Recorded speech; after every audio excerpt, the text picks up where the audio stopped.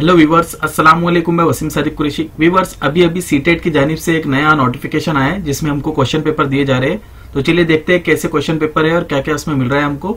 तो सबसे पहले हम सीटेट की वेबसाइट पे चले जाएँगे। CTET dot nic dot in के ऊपर। इस तरीके से देखिए यहाँ पर इसका वेबसाइट खुल गई है सीटेट की। तो आपको सबसे ऊपर नज़र आ रहा होगा सीटेट दिसंबर 21 क्वेश्चन पेपर्स तो यहाँ पर सारे क्वेश्चन पेपर अवेलेबल कर दिए गए सभी के लिए। तो चलिए जल्दी से इस पर क्लिक करके देख लेते हैं कि क्या आपको मिल रहा है इसमें अब। तो देखिए, इस तरीके से आपको पेज खुलेगा। उस पर क्लिक करने के बाद यहाँ पर आपको क्या करना है कि आपकी डेट सिलेक्ट करना है। आपको कौन सी डेट का पेपर चाहिए? तो मैं 20 का कर देता हूँ यहाँ पर, ठीक है? 20 मैंने कर दिया हूँ। और यहाँ पर हम पेपर एक और पेपर दो। आपको कौन सा चाहिए? तो मैं पेपर टू कर देता हूँ।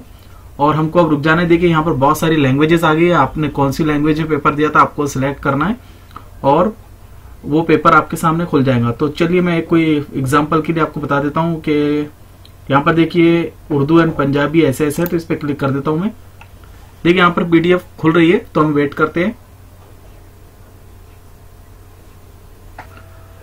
तो फ्रेंड जैसा कि आप देख पा रहे हैं कि पेपर यहाँ पर ओपन हो गया देखिए, हमने paper two Urdu and Punjabi ऐसे ऐसे हमने चुना था। तो इसमें देखिए, यहाँ पर सभी आ गया इसमें देखिए ग्रुप नंबर भी आ गया यहाँ पर वन ग्रुप आईडी यहाँ पर नंबर दिया गया है। उसके बाद में ग्रुप मैक्सिमम ड्यूरेशन यहाँ पर ज़ीरो दिया गया है। और यहाँ पर देखिए कि शो अटेंडेड ग्रुप तो 150 तक के यहाँ पर क्वेश्चन इसके अंदर थे। तो यहाँ पर सारी डिटेल इसकी यहाँ पर दी गई। टाइम वगैरह सभी यहाँ पर दिए गए नीचे आप देखेंगे तो यहाँ पर चाइल्ड डेवलपमेंट के ताल्लुक से दिया गया तो सारे पेपर्स इस पे अवेलेबल कर दिए गए। इससे हमें फ़ायदा ये होगा कि जिसने अगर 21 तारीख का पेपर दिया है, जिसने 25 तारीख का दिया है तो वो अपनी लॉगिन आईडी से सिर्फ़ अपना पेपर देख सकता था। लेकिन अब आप सबके पेपर देख सकते हैं कि इसका पेपर कैसे आया था। और अच्छी बात इसके अंदर ये आप देखेंगे तो आपको नज़र आएगा कि यहाँ पर हिंदी में भी क्वेश्चन है और वही क्वेश्चन इंग्लिश में भी दिया गया है। तो बहुत ही अच्छा सीटेट ने किया है ये। यानी इससे ट्रांसपेरेंट रहता है हर मामला। किसी को शक शुबा कुछ भी बाकी नहीं रहता है।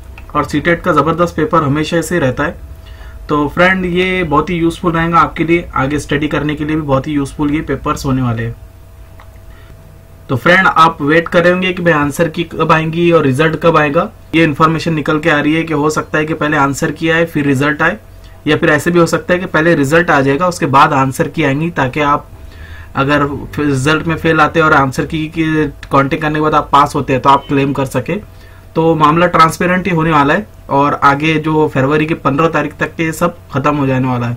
तो मैं फ्रेंड मैं उम्मीद करता हूँ कि वीडियो आपको पसंद आऊँगा इसी तरीके के वीडियोस पाने के लिए हमारे इस चैनल को आप सब्सक्राइब कीजिए, इस वीडियो को लाइक कीजिए।